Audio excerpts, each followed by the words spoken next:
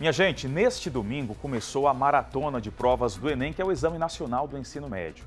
Em Sergipe, mais de 77 mil candidatos fizeram as provas de linguagem, ciências humanas e redação. Redação que sempre é a prova mais temida do primeiro dia e deixou a maioria dos alunos satisfeita com um tema que é bastante atual. Esse ano, o assunto abordado foi sobre a manipulação do comportamento do usuário no controle de dados na internet. Veja como foi o primeiro dia do Enem aqui em Aracaju com Cláudio Rocha. Vem cá, coloca a informação na tela do BG Manhã. Os momentos que antecedem o início das provas são de ansiedade. Muitos candidatos formaram uma longa fila no Colégio Dom Luciano para aguardar a abertura dos portões. Ansiedade presente, né? Que todos aqui nós queremos tirar uma nota boa para fazer uma profissão boa, para passar e ter ansiedade, mas se a gente estiver preparado, consegue o objetivo. O que está passando na minha, na minha mente é o quê? O pior que é a redação, né? A gente fica só na expectativa de que, qual vai ser o tema. Mas espero que seja um ótimo tema que a gente bata a meta.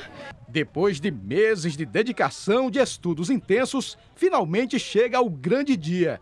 Nessa hora, é importante manter a concentração e confiança. A gente estuda meses e meses para poder, pelo menos, ter aquele sonho de conseguir passar no, no mínimo na federal, né? Para poder formar naquele no nosso curso. O nosso sonho é se formar naquele curso que a gente quer. Confiante na aprovação. Confiança total. Já esta outra estudante presta o Enem pela primeira vez. Ela sonha em cursar Ciências da Computação. Foi um ano estudando para conseguir passar, para fazer a coisa que eu amo. Este ano, mais de 77 mil candidatos em Sergipe se inscreveram no Enem.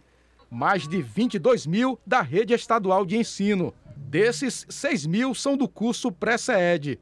O superintendente executivo da Secretaria da Educação espera um aumento de 5% no índice de aprovação se comparado ao concurso anterior. A gente faz uma, uma revisão constante com eles, sentamos com esses alunos, do aluno do pré-universitário, para que eles possam dar um bom resultado na hora do Enem. E é essa hora que eles chegam junto e aí também estamos aqui hoje também para dizer assim, ó, acreditamos em vocês. Nos locais de provas, os candidatos chegavam a todo momento. O horário se aproxima e alguns precisam adiantar o passo. Virei o trabalho, estudando um pouquinho ainda, revisão. Viu?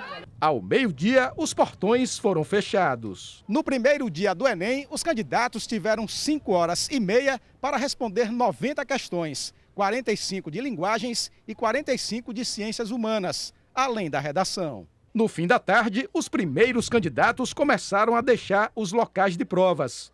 Muitos estavam animados. Foi fácil, porque abordou é, o racismo, né, o feminismo. Aí ficou fácil, porque são temas que são abordados geralmente nas salas de aula e que também passam muito na TV, então foi fácil.